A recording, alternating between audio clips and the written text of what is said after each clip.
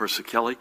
Uh, to her right, the Department of Health's Communicable Disease Service Director, Dr. Ed Lifshitz, another familiar face. Great to have you back. Ed, to my left, the Superintendent of the State Police, a guy who needs no introduction, Colonel Pat Callahan, the Director of the Office of Homeland Security Preparedness, Jared Maples, Chief Counsel Parimal Garg, and Councilman-elect from Greenbrook, Matt Stanishi is in the House. If that weren't enough, the First Lady of the great state of New Jersey, Tammy Murphy. Remember, the New Jersey Pandemic Relief Fund is still doing extraordinary work. NJPRF.org. Your money will go right to the point of attack to the people who need it the most in this state. I want to spend a few minutes giving an update on our testing program, so I think the first thing to do will be to give the results of those tests of the day. Today we're reporting 3,635 positive cases, which gives us a cumulative total since March 4th of 297,370. The positivity for all PCR tests recorded this past Monday was 7.98%. That's a little bit better than the past couple of days. Statewide rate of transmission today is 1.40. So we run through these numbers every day, and they are the resulting data from the tens of thousands of PCR tests we record on a daily basis. You could see here uh, how our testing has increased exponentially throughout this pandemic.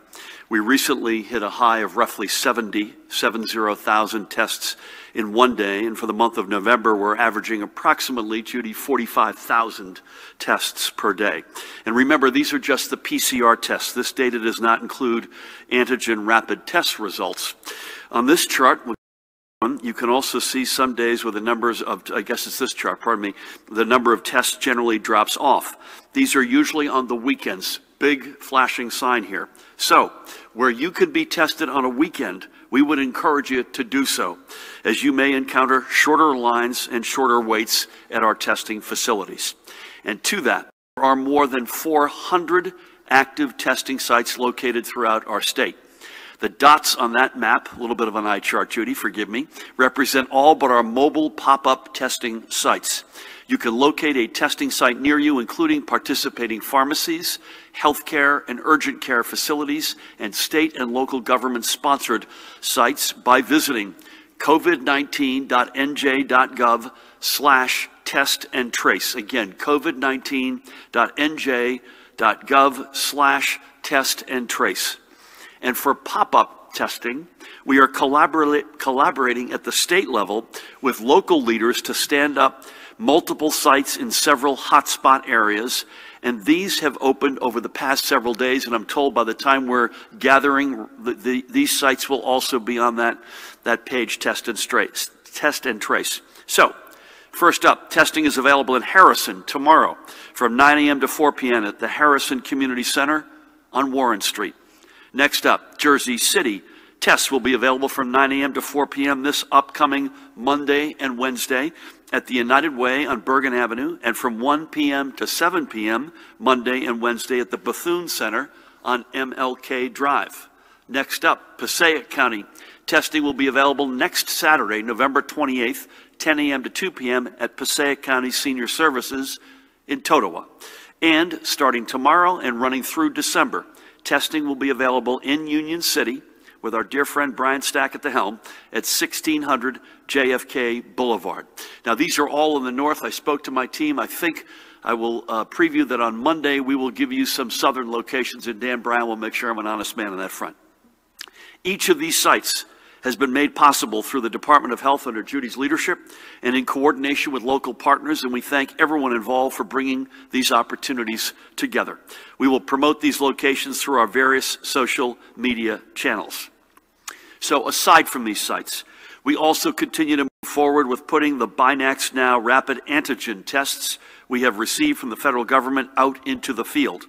Some 600,000 BinaxNOW tests are currently in the distribution pipeline to our long-term care facilities. And another, as you can see, 160,000 have gone to rapid response teams and county-based testing sites. We have, next up there you can see, about 100,000 BinaxNOW tests currently inventoried, with another 1.75 million BinaxNOW tests expected to be delivered soon from the federal government and the, from the Department of Health and Human Services. And we'll be ready to move on getting those to congregate housing facilities, Judy, schools, colleges, and universities, healthcare centers, among other places where emergent needs may arise. Remember that the Binax Now test does not at the moment fit into, the results do not fit into any healthcare databases, either in New Jersey or anywhere else, but we're working very hard on fixing that, addressing that. The Cue Health tests that we referred to, I guess, earlier in the week, they're coming, I hope, within the next week or so. They, in fact, do automatically report into the data system. So when we talk about our testing capacity, remember, it does not include results from the Binax Nows. Separate. And from this, it is expected that Pfizer will be applying to the FDA for an emergent, emergency use authorization for their new vaccine, which their clinical trials have put at 95% effectiveness. I was on with Albert Bourla, their CEO, yesterday, back and forth. Their team spoke with our Restart and Recovery Commission and went through the details of this. Should this application be approved, and should this be approved, uh, we would then expect that our first shipment of roughly 130,000 doses would arrive in state around Christmas time, with more to follow. I'll ask Judy, as I know she was going to do anyway, to give a little bit more color on this process today, and we'll also have more to say about this at our Monday briefing. All of this is to say that we are in a far, far different place than we were at the early stages of this pandemic. We have the testing program in place, and it is working overtime. And we have the resources to continue to not only ensure a full testing regime across the state, but to ramp up testing when hotspots emerge. And we can begin to anticipate the arrival of a vaccine. We encourage please, to get tested, especially if you've been in a crowded indoor group setting where others have not been social distancing or taking proper precautions. Now, as Judy and I and others have reminded you over the past number of months, the other side of the testing program is our contact tracing, tracing program, which we continue to build out to meet the tremendous challenge posed by this second wave. On Monday, 207 prospective new contact tracers began their training, and they will be deployed statewide over the coming days as they complete their training. Once that happens, we will have more than 2,300 contact tracers on the ground. Our goal remains to get every county to a minimum number of 30 tracers for every 100,000 residents. This past week, 120 new tracers came online, and with their additions, both Essex and Union counties now exceed this threshold. Five other counties, Passaic, Warren, Mercer, Cumberland, and Salem, have also reached this benchmark, as has the great brick city, the city of Newark. However, as we note regularly, we continue to see a lack of cooperation with our contact tracers. The percentage of cases in which people refuse to provide any contacts for follow-up tracing continues to hover. Judy, my numbers are at about 60%. I urge you folks, please take the call. Our contact tracers have a clear job. They're not in a witch hunt. Making sure you have the resources you need to safely self-quarantine and notify those who you may have exposed so they can take steps to protect themselves and slow the spread of this virus throughout the community. We also urge you to download the COVID Alert NJ app to your smartphone, which is also a vital tool for keeping you protected. The app has been so far downloaded more than 375,000 times. That's an increase, by the way, of 30,000 since Monday. And every phone we add is another tool we have at our disposal to fight this virus. COVID Alert NJ is free and it is secure. It uses Bluetooth technology to exchange secure, non-identifying codes between smartphones and have downloaded the app that have downloaded the app. All notifications are anonymous. You'll never know who it was you were near, and they won't know that they're notifying you either. It'll all be done through the secure code. Multiple other states also use this platform. So the more people who download, the better position we are across our entire region. So please add your phone to our fight and download COVID Alert NJ. Before I get to the rest of today's numbers, a few other brief announcements. First up, we will be issuing an administrative order, order, today clarifying that for outdoor, I think this is coming from you and me, Pat, is that right? For outdoor organized high school sporting events, individuals necessary to the supporting sporting event, such as players, coaches, and referees, will not count toward the 150 person limit. This will mean that these sporting events, including the upcoming Thanksgiving week high school football games, can have up to 150 spectators. However, all spectators must continue to abide by social distancing requirements. Does this sunset, Parimal? It sunsets, I believe, after, after the, uh, uh, this is almost exclusively for the football games that are coming up over the next week. And while we're on schools, yesterday I was pleased to join with six of my fellow regional governors from New York, Pennsylvania, Delaware, Connecticut, Massachusetts, and Rhode Island to reiterate the importance of keeping our schools open for in-person instruction with strong and appropriate and responsible protections against in-school transmission in place. The growing body of medical research shows that the path we are on with regard to in-person instruction is the right one. It is the safe one. And we're also seeing the increasing evidence of the importance of time in school on a child's mental health and learning. We continue to closely track the metrics within our schools, and we continue to work alongside our district leaders, educators, and others to ensure that our schools can remain safe places for our educational communities. Remember, we have said as of Wednesday, 50 odd experiences of in school transmission cumulatively since the beginning of the school year in late August. That's now two and a half, a good two and a half months, impacting 200 and something persons. We take every one of those transmissions and every one of those cases deadly seriously. Uh, but if you look at where the safe places are in the state, and by the way, where contact tracing is as good as it gets, I think outside of our hospitals and healthcare systems, it's the schools. Uh, we, we know exactly who are in those buildings. Now, this is not to say a couple of things, by the way. It's not to say that there is not transmission, and in fact, one of our kids' schools had this from outside the school into the school. You got to be very careful of that. Uh, that does, that has existed, does exist, and you've seen districts from one you know, here and there go to all remote because six persons came in from the outside, as is, was the case with our kids' school. And that's not to say that this is a normal school year or that this is a stress-free school year. It is not. And I want to salute again our extraordinary educators who are at the point of attack, our extraordinary parents, our kids, our superintendents, our administrators and staff. Um, they are, you know, they are, are leading in a time of extraordinary, unusual circumstances. Um, and I take my hat off to each and every one of them. But there's no question. Uh, it's not, we, we can't bat a thousand. There's no normal school year. Our principles are safety and, and, and of our kids and educators and other staff. It's high quality education. It's equity with flexibility wrapped around that. That's where it's been since day one as it relates to school. That's the way it'll continue. But I can't say enough good things about how well set up and well functioning and executing our schools have been. I was just back and forth this morning with another guy who's been a great advisor to us, Dr. Ashish Jha. Uh, when this whole pandemic began, he was at Harvard and he's ended up at Brown University since then. He's a leader. Judy knows him. He and I were back and forth. He did an outstanding piece yesterday in the Washington Post that made this um, sort of summarize what I've just said even more articulately uh, and really captured that sense. And he and I were back and forth on that this morning. So let's move on. It's a uh, first time together since our Thursday, which means unemployment is up.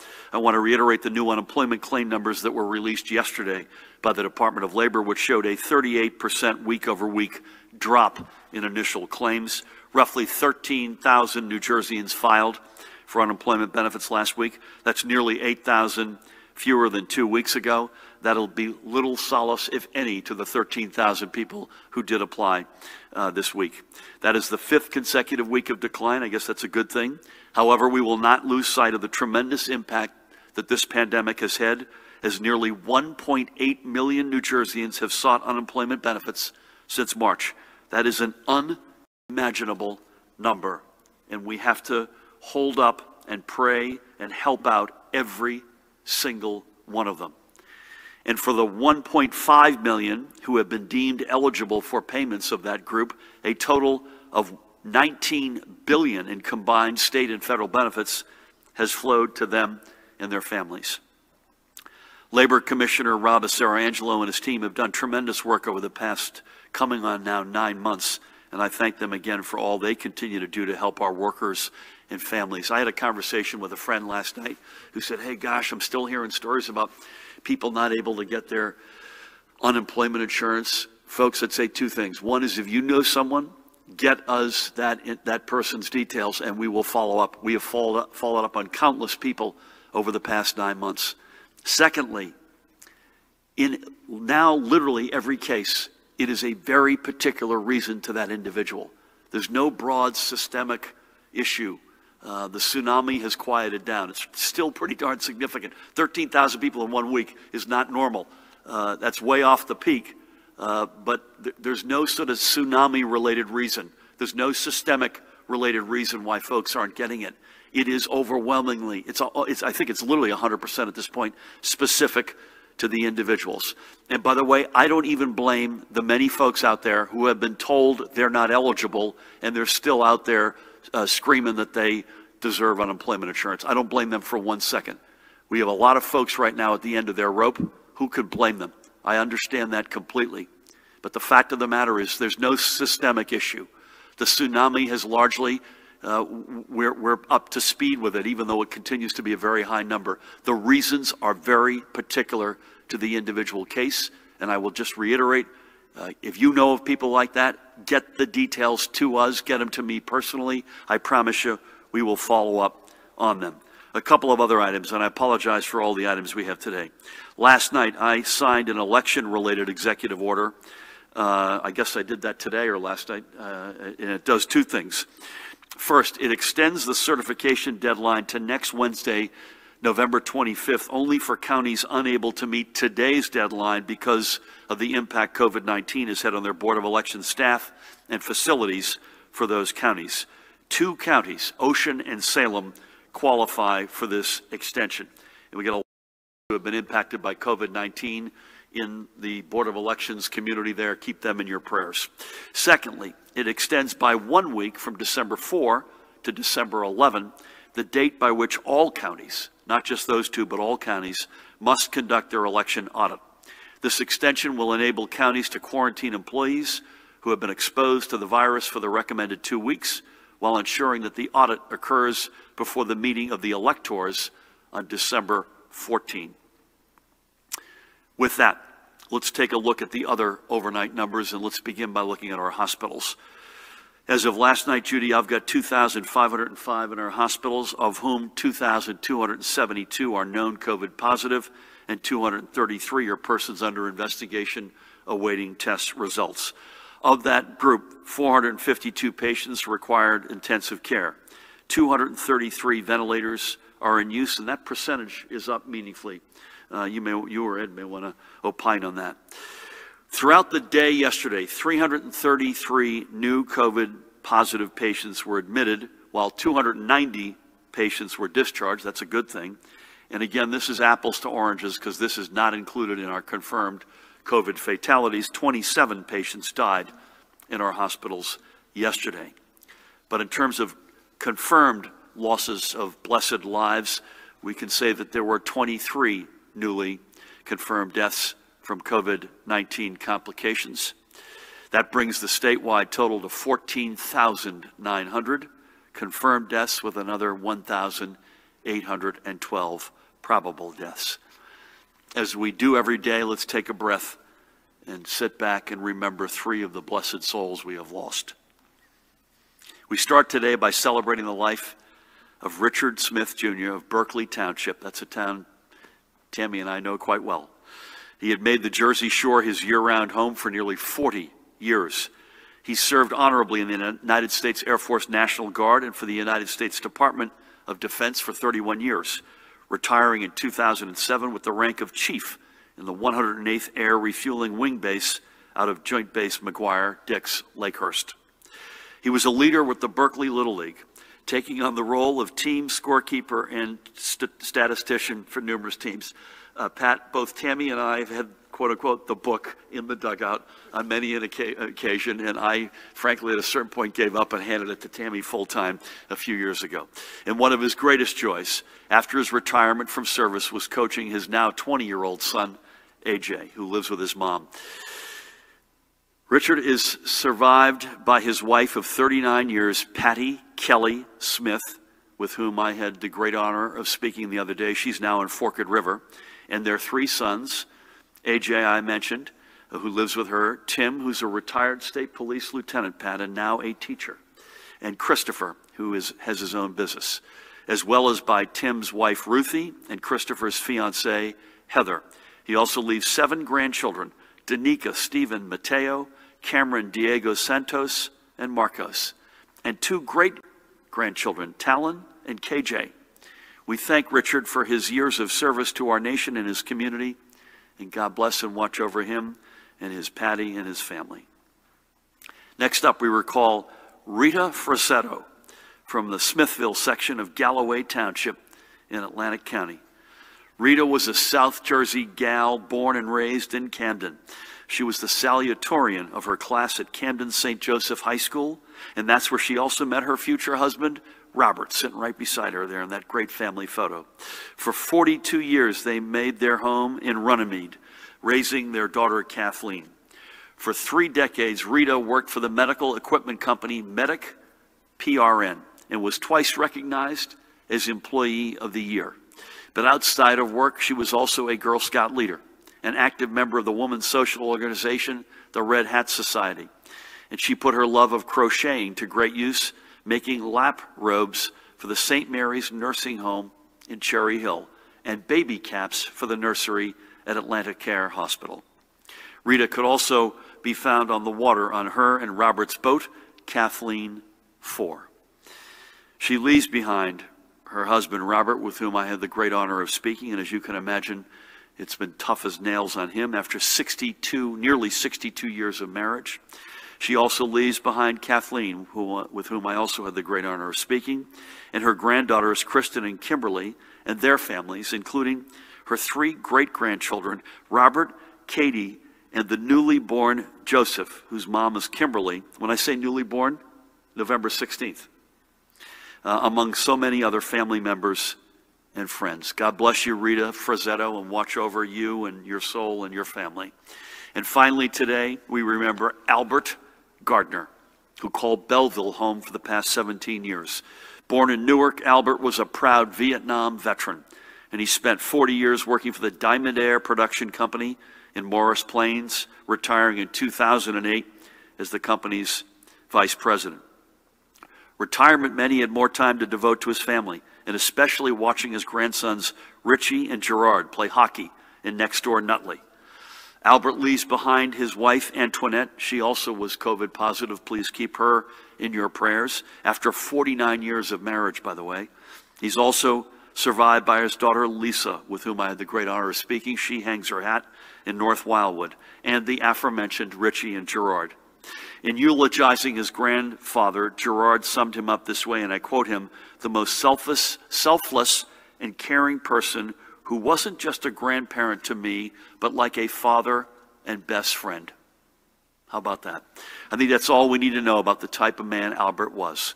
He also leaves behind many siblings Daniel, Billy, James, Beatrice, and Betty, and their families, including numerous nieces and nephews. May God bless you, Albert.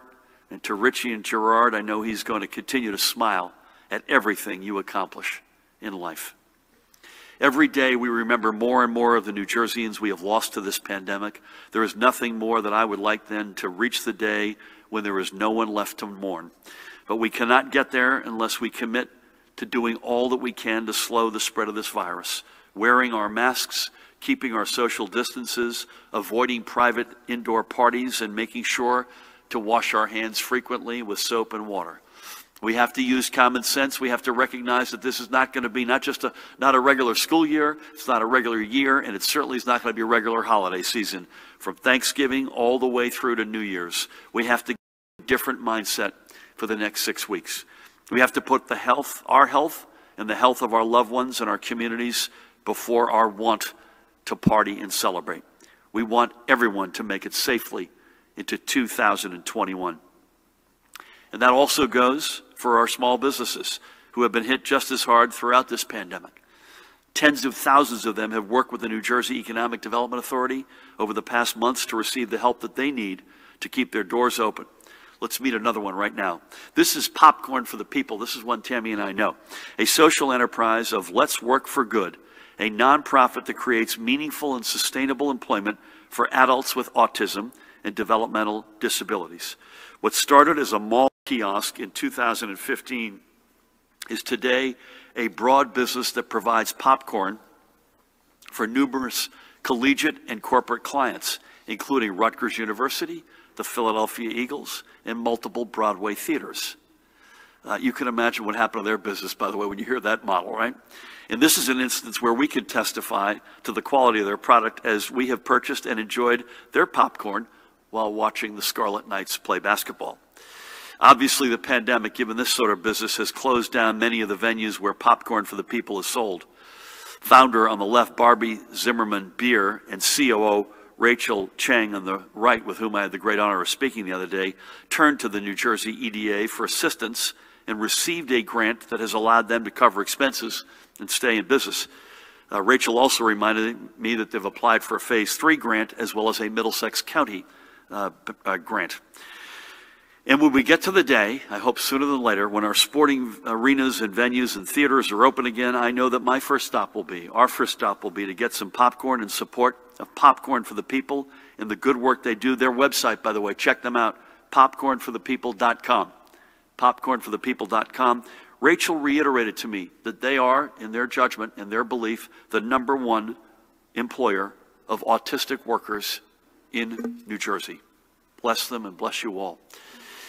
I want to note that today is the 75th anniversary of the start of the Nuremberg trials when the Nazi officials who undertook some of the most despicable crimes against humanity ever recorded were brought to justice.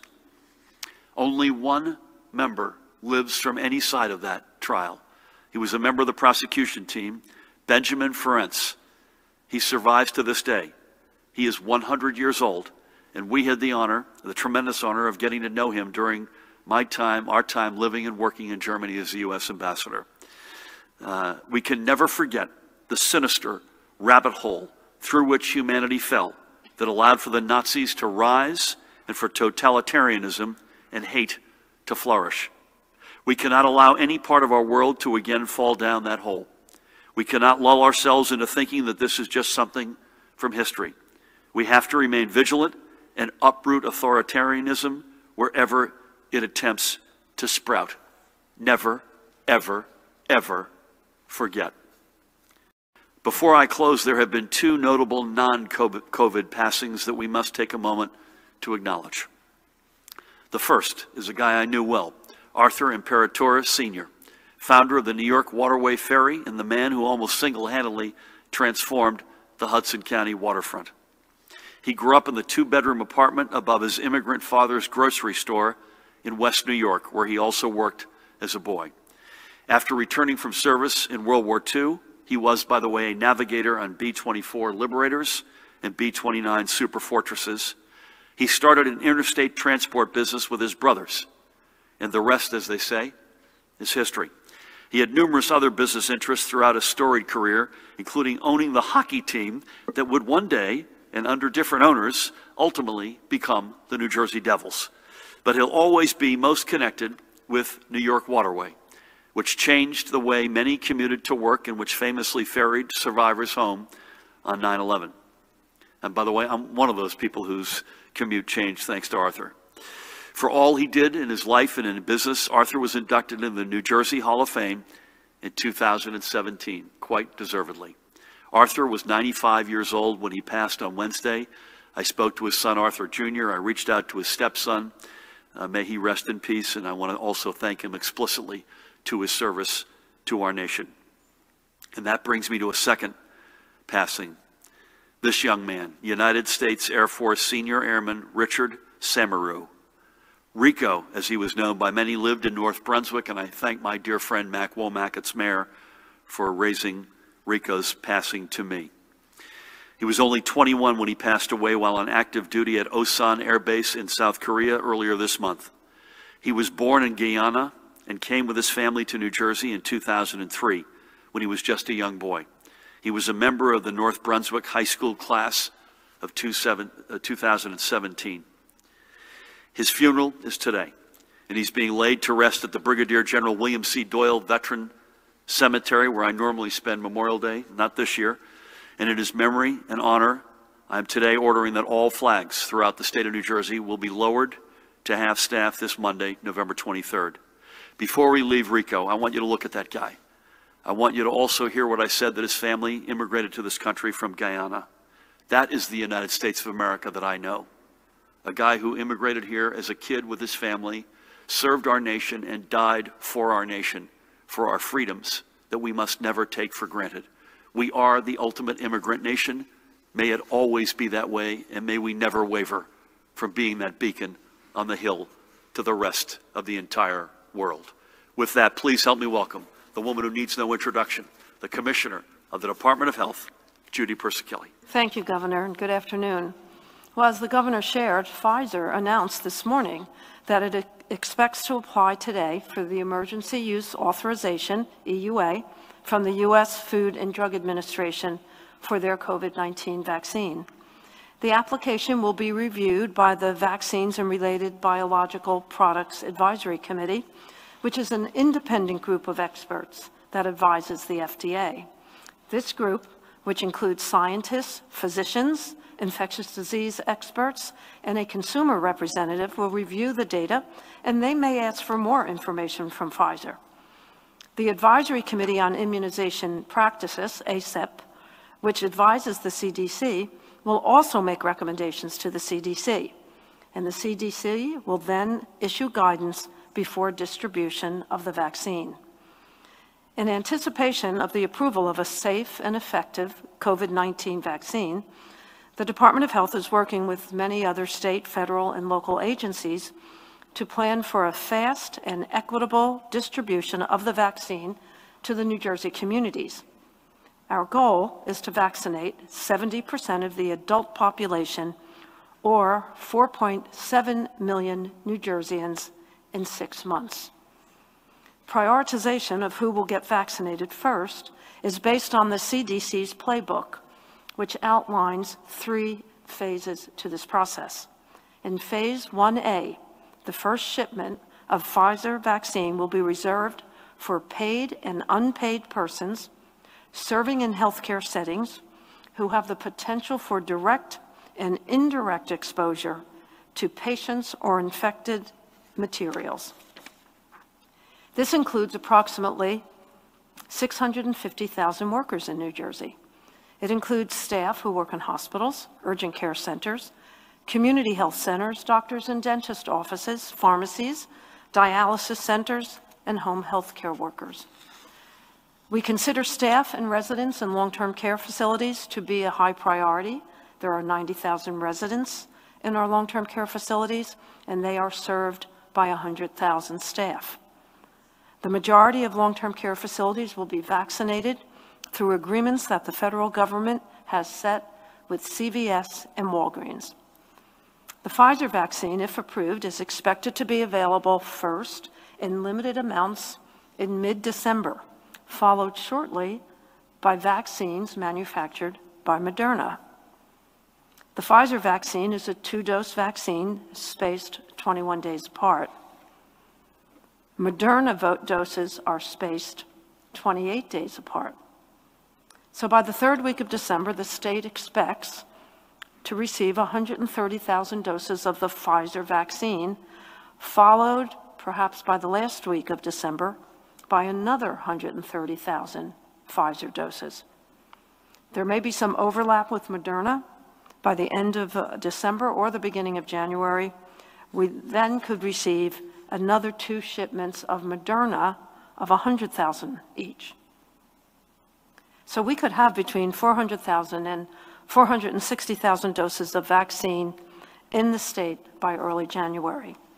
We expect the vaccine to be shipped directly to hospitals with ultra cold chain storage uh, for the Pfizer vaccine, and those hospitals that have the ability to manage ultra cold chain storage with the Pfizer shipping infrastructure system. About 40 of our New Jersey hospitals have told us that they do have capacity in their ultra cold storage. We have more flexibility, by the way, with the Moderna vaccine. This vaccine requires refrigeration, which is available in all hospitals and pharmacies. As additional shipments of vaccine arrive, including Moderna, Phase 1B would include other essential workers, people at higher risk, including those over the age of 65, those with underlying medical conditions, and those who live in congregate settings.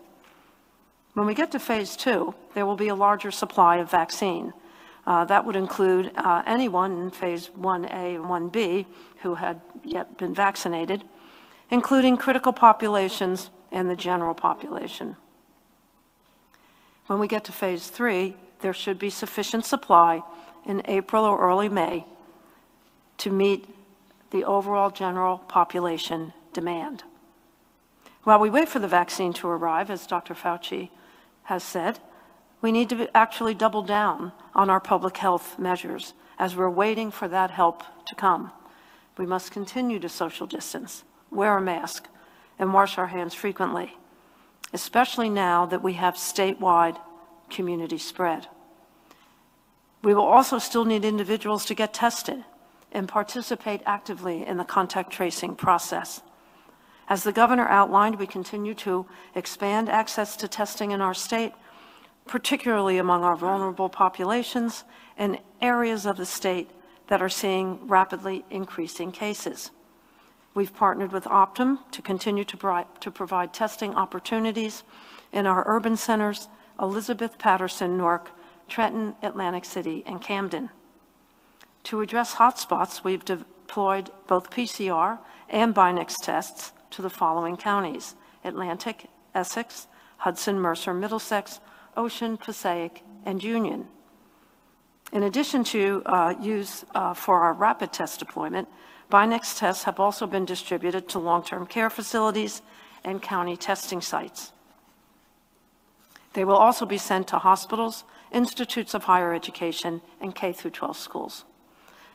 As we discussed last week, New Jersey will be among the few states receiving the Cue rapid molecular test, which will be used at our state's veterans' homes. So moving on to my daily report, as the governor shared, our hospitals reported 2,505 hospitalizations. We are seeing increases in hospitalizations by about 100 to 150 a day. There are 452 individuals in critical care, and an astounding 51% of those critical care patients are now on ventilators. Fortunately, uh, there are no new reports of multisystem inflammatory syndrome in children. Our state's veterans homes, the numbers remain the same, and at our psychiatric hospitals, there is one new positive case at Ancora. The state positivity on November 16th uh, overall is 7.9. The northern part of the state is 8. 8.18, the central part of the state 7.45, and the southern part of the state 8.84. And that was November 16th. Uh, Posit today, it's up to about 11%. That concludes my daily report. Stay safe and remember for each of us, for us all, for us all, please take the call and download the COVID Alert NJ app. Thank you. Judy, thank you for that, and thank you for all. We're going to keep moving along today because we're going to sign a bill uh, right after this. But Judy, fair to say we'll, we'll hit vaccines again, likely on Monday with a little bit more. Um, but that's a great, um, great framing, uh, and and the news is is is largely really really good on the development side. The distribution is really complicated and expensive, and I don't think we can we can under, under uh, understate that. Um, this is a never been done before sort of hurdle, uh, which, uh, listen, the, this is the United States of America. We could do stuff like that, but we got to make sure we get all rows, uh, all oars rowing together. Colonel Pat Callahan, great to have you. Uh, bless you. Over to you. Thanks, Governor. Good afternoon. Just very briefly on compliance. Um, ABC investigators, in partnership with Division of Criminal Justice investigators, went out last night on compliance inspections in Hudson County. They visited uh, 51 licensed establishments, and of those 51 visited, uh, eight of those licensed establish, uh, establishments were cited for EO violations concerning capacity, facial coverings, uh, and no social distancing. That's all I have, Governor. Pat, thank you, and thank you for all. We'll start over here. Um, we will be virtual. Dan Bryan, where are you? Dan Bryan will be virtual tomorrow and Sunday, and unless you're otherwise, we'll be live and in person uh, at 1 o'clock on Monday. And again, we will sign um, uh, Daniel's Law uh, wi- with a heavy heart uh, right after this. Uh, I just read a quote that someone sent on to me. This is in an article. Um, Shut the school down. Don't shut hockey down. You can go to school online. We got our priorities straight there. Dustin, over to you. Perfect segue. Um, Leadership of the NJEA said uh, they're dismayed that you have downplayed the danger to students and staff by allowing in-person instruction, and that the data you're using to support keeping schools open is misleading at best. What's your response to that in general? But if the NJEA is correct, uh, why are you not counting school-related activities like sports in the data? Have you contacted Mondelez officials about keeping the Nabisco factory in Fair Lawn uh, here? Um, And if so, can you share any insight into that discussion or what your pitch was to stay in New Jersey? Several progressive groups are pro- protesting a lack of diversity on the legislative redistricting panel, uh, with much of their ire focused on the Democratic Party's failure to name a Latino, despite the growth of the Latino population over the past decade. Given your role as the de facto leader of the Democratic Party and your well-documented emphasis on diversity, what's your reaction to that and any defense of the lineup? Are you comfortable with the panel's composition? One last one from NBC. Do you have any reaction to the Howell Police Chief saying he won't enforce the 10-person limit at Thanksgiving unless it's egregious behavior? Thanks. Um, you, I thought you were going to ask me about hockey, by the way. You got me all excited about a hockey question, Dustin. Listen, we're, we're on with the NJEA all the time, and I re- repeat what I said uh, today, and I've said on many days, including recently. Uh, educators are on the pedestal. They, they are heroic. They're at the front lines. Uh, this is not a normal school year. This is not a stress-free by any means. Um, bless them. Um, I can't say enough good things about them. Uh, I don't have a whole lot more to add other than the, the, the data that we present is the data that uh, is vetted, and it wouldn't, we wouldn't present it if it weren't blessed by the Department of Education and the Department of Health. Again, but there, there, there is behavior outside of schools that does have a behavior on the inside, and that's got to, we got to make sure, we say that all the time, we got to make sure folks hear that, and that is absolutely the case. Um, and we got to, we got to watch that like a hawk. Um, but other than a hospital or a healthcare setting, uh, when you look at the PPE barriers, one-way stairs and hallways, face coverings at all time, uh, surfaces, hyper hygiene, I don't know any structures indoors that are that are are safer than than our schools. And again, I think it's also fair to say, and again, we've had a, a, a great uh, exchange back and forth on this with all stakeholders, including uh, educators. It is safe to say, and I think a lot of people are coming to this conclusion, that it's an easier riddle for the sort of the pre-K up through eighth grade than it is for the high school students who begin to feel their oats and feel like they're invincible. And that, that's a, we watch all of this, as you can imagine, including especially the folks who are in the upper grades. And again, bless our educators. Mondelez, I've, I've spoken to the North American head on the phone. I've got a, a Zoom call with labor this afternoon. I've got a Zoom call again with the North American head. Um, too early to tell. It, it feels to me like they're consolidating their bakeries, East Coast, Central, West Coast, from multiple locations in each of those respective um, locations to, to one in each. Um, I'm going to make the case that there's no better place to do business than New Jersey. Um, I, I just can't fathom the, um, the, the several hundred folks here who would be impacted and their families right now. I can't fathom the impact that that would have on them. Um, I think we're as good a place to do business as any in the United States, including, as I was proud to acknowledge earlier this week, the number one port on the East Coast, number two port in the country, Los Angeles. We love you, but we're coming after you. Um, quality of the talent. I mean, there's just an overwhelming reason to be here. Mondelez has, in addition to the Fair Lawn facility, they've got over a thousand people in other locations in New Jersey, but we're going to give it everything we've got. Yeah, I'm a, I'm a big believer in diversity.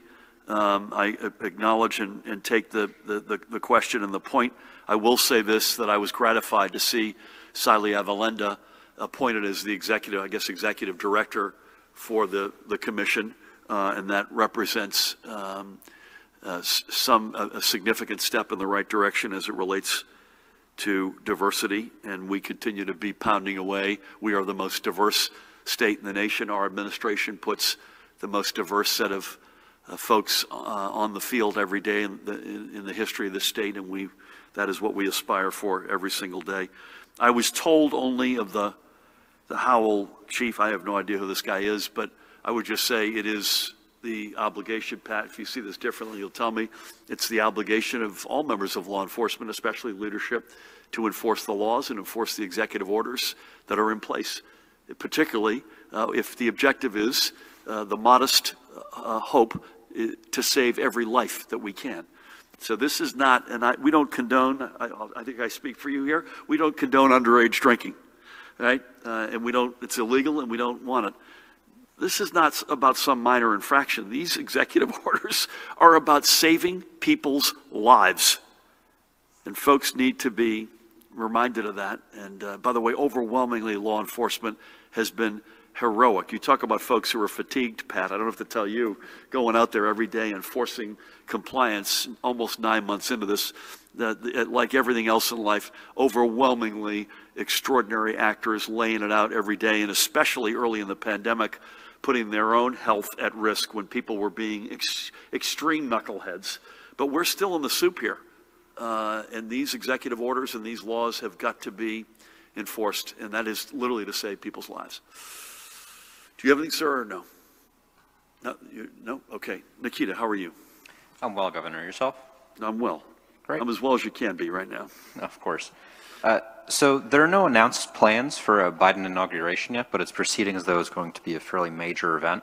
I'm wondering uh, if you plan to attend yourself and whether or not you have any recommendations for New Jersey Democrats who are thinking about traveling to DC for unofficial or official uh, Biden inaugural events. Uh, Separately, uh, I'm wondering if you have an opinion on whether legal guidance or opinions issued by Attorney General Grewal regarding the uh, 2020 election and vote counting procedures to uh, state and county election officials should be uh, made public. Currently, they're shielded from disclosure by an attorney-client privilege. And lastly, on the election executive order from today, uh, so does that make any changes to the recount deadline, which is also today? Because now you have a situation where counties might be certifying after the deadline to file for a recount has passed. I'm going to wave in Parimal Garg from the bullpen for your second and third question in a second. Uh, I've got no insight in, onto the inaugural plans other than Joe Biden will be inaugurated as the 46th President of the United States at noon on, uh, uh, on January 20th. Um, I, I would say, I, I, again, I've got no insight. I'd be surprised. This is one guy's personal opinion, given that we're still in the throes of this uh, pandemic. I'd be surprised if it's business as usual. So I'd travel if I could travel safely, but right now we're telling people not to travel. Judy, I hope it's different two months from now, but I'm not sure it will be. I hope it is. Um, I would just repeat something. You you didn't ask this, but I will take this opportunity to say the following. Think of a triangle. Uh, there's a huge missing uh, link right now. And if we don't solve this soon, people's lives are going to be put at risk, and I suspect lives will be lost. And I'll use us as an example.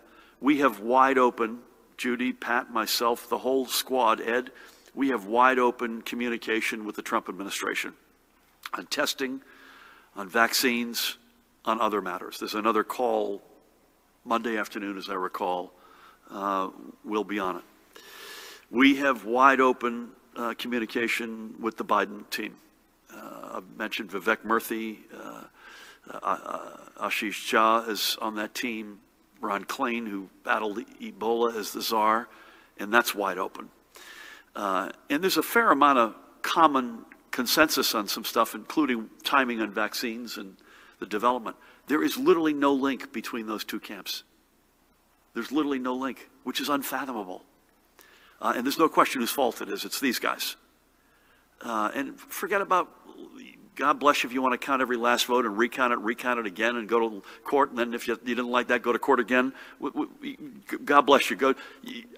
That's not what I'd be doing, but that should be completely disconnected from making this link and by doing so, saving lives. And it's despicable that that link has not been connected. Parimal, either on the Attorney General's uh, uh, opinions as well as on whether or not our extension of the deadline includes, impacts the recount deadline. On the Attorney General's guidelines, uh, we would need to look at the specific gui- guidances and see if it- there's anything we could disclose there, so we can get back to you. And on the recount piece, we'll, uh, we'll circle back this afternoon. It's a good question on the last one. We'll come back to you. Sir, good afternoon. Um, I just have one quick question to clarify from earlier. Um, you said New Jersey hit, uh, 70,000 reported tests, um, per day. Do you know exactly which day that was, that we hit that threshold? No, but we can get that for you. Is that it? Yeah, that was it. I may slip you a 20 after the uh, press conference. Brett, you're out of, you're out of your, tw- your 20 opportunity. So, uh, good news about the vaccine, but numbers for now still keep moving in the wrong direction. What's next for the state? Do you think pleading for cooperation is enough? Or do you see the state following Newark's lead and asking everyone to stay home for like 10 days to, to kind of get a grip on this? What's an update with the situation in nursing homes? I see deaths have been rising there in recent days a little bit more than usual. And we're getting reports about people waiting a long time for tests, even though we have a lot of them. Um, what is the state doing about that? Is that it? Yep.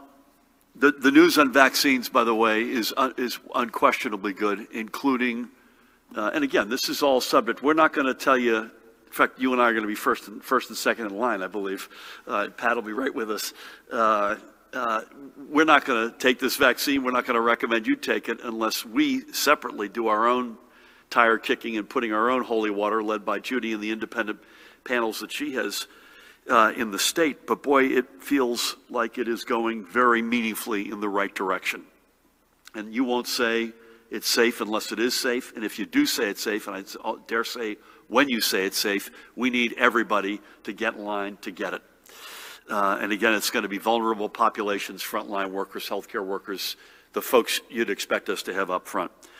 The numbers are not going in, in a good direction, and we've said that that, that is going to continue. I mean, I, I want to be unequivocal about this.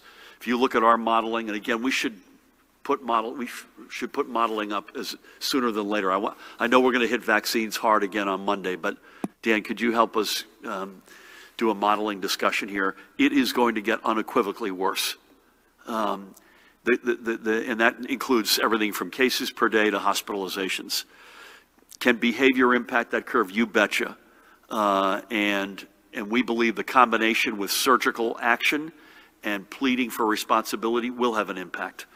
Um, and again, we don't just sort of take steps, Judy, Pat, myself, none of us take steps that are symbolic, that don't have any oomph under them. So when we saw restaurants, not all, but a lot of restaurants migrating toward a sort of sloppy environment after 10 o'clock, we took action. Uh, we've lowered the indoor limits. Uh, with, with all due respect to the guy with the hockey quote, we cut out interstate uh, indoor sports. We're pushing back, NJSIAA is actually pushing back the, the winter season. We're in a, a vortex of cold weather, it's getting darker, and you've got one holiday after another. Um, so we will continue to, everything is on the table. Um, there's no necessarily obvious next up to bat. Um, we would really like to see uh, what's in place take hold. And I think through, for instance, non-essential businesses. People ask me about non-essential business, indoor dining all the time. By the way, indoor dining I, I put separate from where we know establishment X has had an outbreak. Uh, they've been, either they on their own or with the local health authorities will, we will combine, take the right step. But I mean just the, the known increased risk that we have when, Matt, you may want to just ask folks, the known increased risk that we have by more indoor activity that we've talked about. So people ask us all the time, indoor dining, uh, non-essential retail, the non-essential businesses.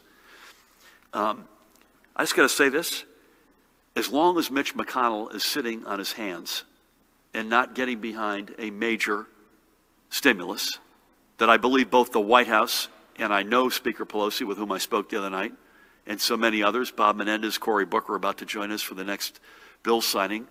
Uh, as long as he's sitting on his hands you shut without absolute evidence that there's spread and transmission, you shut essential, non-essential workplace or indoor dining, you're, you're, you're basically putting a bullet in them. Uh, and unless we see explicit transmission coming out of there, uh, that, that's blood on our hands in a different respect. Um, and it's shameful that they have not acted in Congress, especially McConnell and the Republican Senate, to throw a lifeline to small businesses. Listen, could you see a different scenario where there was that lifeline and you could afford, you had more latitude, say, you know what, we can afford to take a two week pause there uh, because uh, uh, there was, they're getting cash on the barrel in order to do that. That's the trade. That, sh- that trade should be available.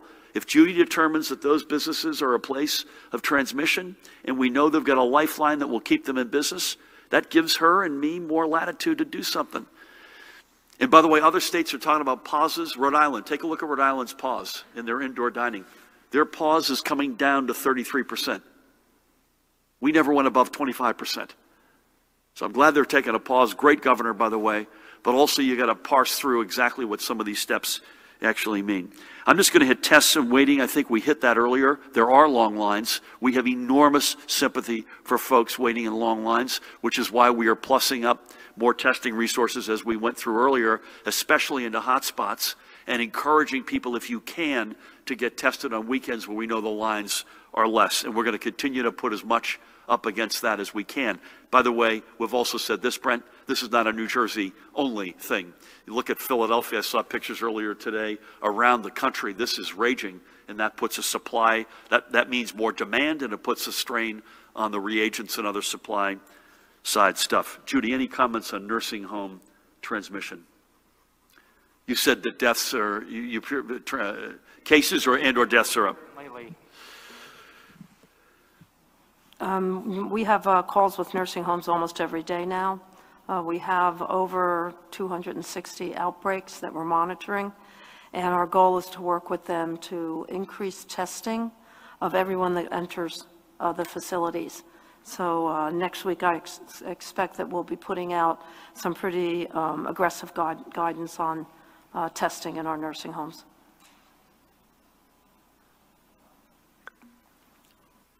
As they say, I'm not sure this is in sports or in the movies, that's all she wrote. Um, So let's, uh, let's mask up. Again, I have the honor in a few minutes to, with an august group, including both of our United States senators, all prime sponsors, Judge Esther Salas and her family, uh, Chief Justice Stu Rabner, to sign Daniel's law into law. Uh, God bless that lad. He will remain forever in our prayers, and this will forever stand as a memory to him and as a legacy and as a step in a direction that needs, sadly, needs to be taken. So I want to thank Judy and Ed. As always, Ed, we didn't pull you in from the bullpen today. I hope it was still worth the trip. Pat, thank you for everything. Jared, Parimal, Dan, again, uh, Tammy Murphy, thank you. Uh, Param, uh, uh, Parimal, virtual, not Parimal, virtual this weekend, Saturday and Sunday. Uh, Monday at 1 o'clock right here. Not sure yet of our schedule next week with Thanksgiving. Just ask folks, bear down, everybody. I know this stinks. I know you've got fatigue. Who could blame you? I know we all do. Keep these on. Keep away from each other. We have good weather today and tomorrow. It's going to be decent Sunday, but colder. But today and tomorrow is really decent. So get outside, folks. Stay out there safely. Enjoy it. And we got Thanksgiving next weekend. Again, I'm begging you, keep it to your immediate family, please. Uh, do everything you can to protect multi-generational, particularly older uh, members of the family. Uh, don't cross bubbles. If you've got kids, as we do, uh, who have been at college, they got to either self-quarantine there and get tested or continue that process here.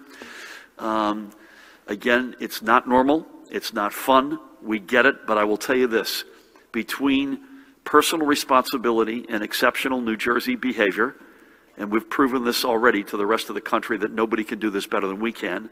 And you add to that more testing, and far more importantly, vaccines that are real, that are coming, that will be safe. We won't recommend it unless they're not, and we have an overwhelming sense they will be. You, you start looking at distribution as early as next month, potentially. And then by April or May, broad access. We're in a completely different place. So this is it. This is crunch time. This is the locker room. The next six to eight weeks are the Super Bowl.